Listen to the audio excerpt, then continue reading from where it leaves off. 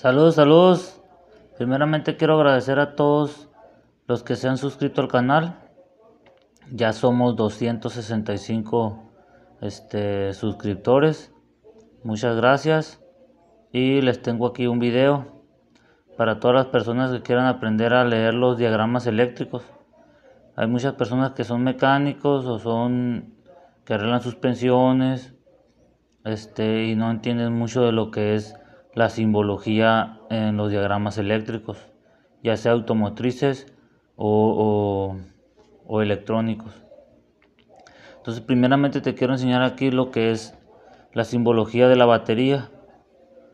Esta es son dos símbolos que podemos encontrar aquí, como puedes ver. Tiene un, más y un menos, tiene un más y un menos, y esta es la simbología de la batería, así te la puedes encontrar en los diagramas eléctricos. Este video es para los que van comenzando y quieren aprender a, leer lo que son los diagramas eléctricos. Más adelante te voy a enseñar un diagrama eléctrico y te voy a mostrar cómo vienen aquí. Entonces primeramente tenemos aquí lo que es la batería. Luego nos podemos encontrar también en los diagramas eléctricos los capacitores. Los capacitores pueden ser de cerámica o pueden ser electrolíticos. En este momento te voy a enseñar uno que es de cerámica, que vendría siendo este pequeñito, que es un capacitor o condensador de cerámica. Este te los encuentras en las computadoras automotrices o en algunas tarjetas electrónicas de, algún sistema. Y te voy a mostrar dos que son los condensadores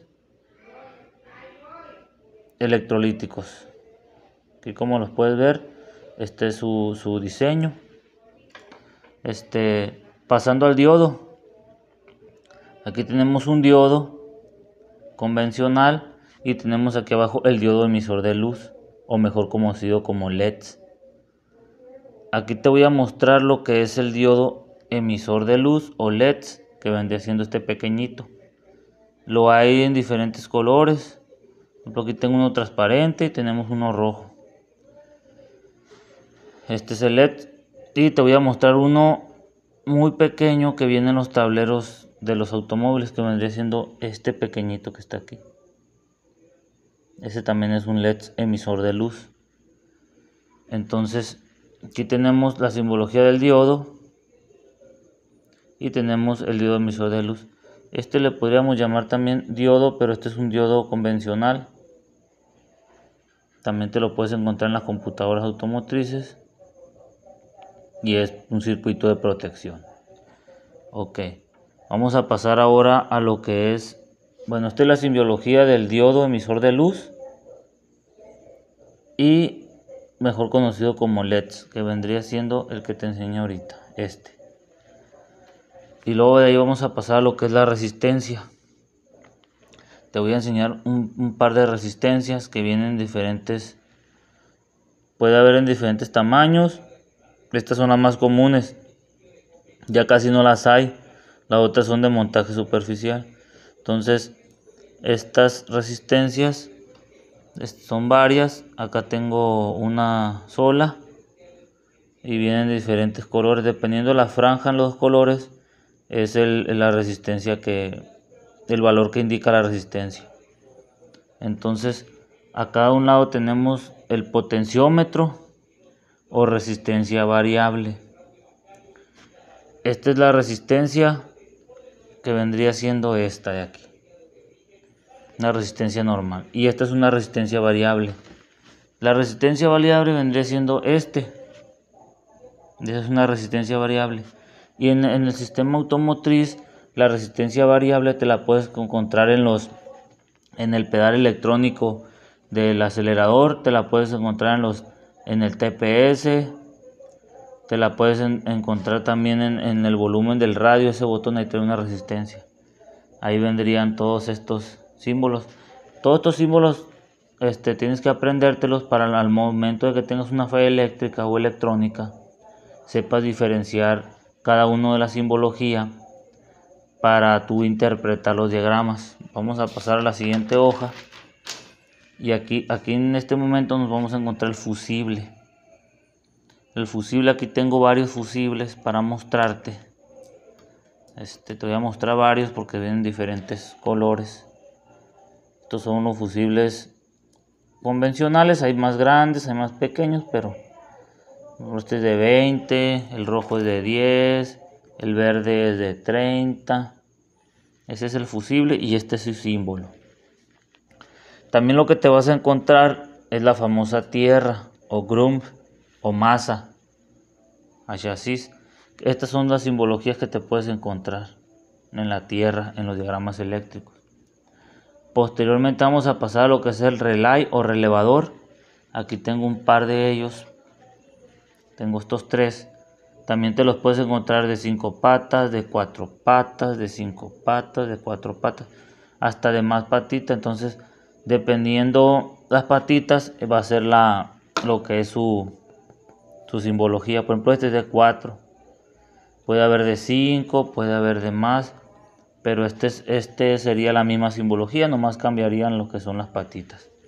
O traería dos, dos de estos, dos bobinas. También es muy importante, este es un switch y esta es una bobina. Entonces también nos podemos encontrar el foco de uno o dos filamentos. Aquí tenemos un foco, la simbología de un foco y de dos filamentos. De un filamento y dos filamentos sería el foco. El motor. El motor como puede ser un ventilador, el blower del aire acondicionado, también puede ser la bomba de, de gasolina. Esta es su simbología. Vamos a pasar a la siguiente hoja. Y aquí podemos encontrar el, interruptor. El interruptor o switch. Aquí es de, de, de uno, de una salida Aquí sería dos salidas, puede haber hasta de tres o de cuatro salidas. Este ya casi no lo vas a ver, es el distribuidor.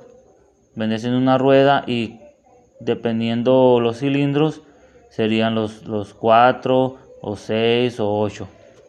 Este ya casi no lo vas a ver, pero lo quise anexar aquí. Lo que es también la bobina o coil. Este, estas son sus dependiendo la bobina. Entonces, sería la bobina, la bocina, que puede ser el claxon, o alguna la bocina de la alarma del carro, este la bocina de los, del estéreo, este es su. Y el voltaje, este no te lo puedes encontrar en los diagramas eléctricos, o puede ser que sí, pero regularmente no está. Más que nada este está en el multímetro.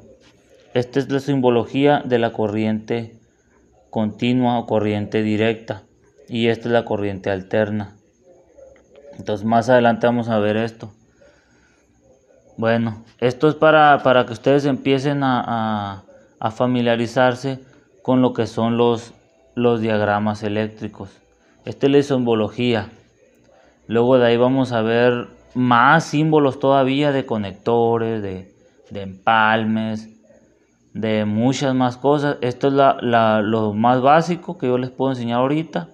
Más adelante les voy a mostrar más lo que son más diagramas o algún diagrama que, que pueda imprimir y ahí estarlo estudiando entre pueden ver el video varias veces para que se los graben o pueden tomarle una screenshot para que vean. Este espero les guste el video.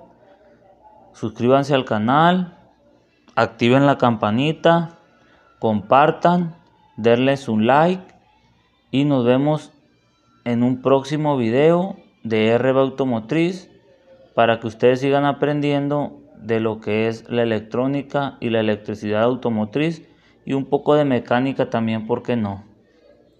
Me despido, espero que estén bien y hasta la próxima. Saludos.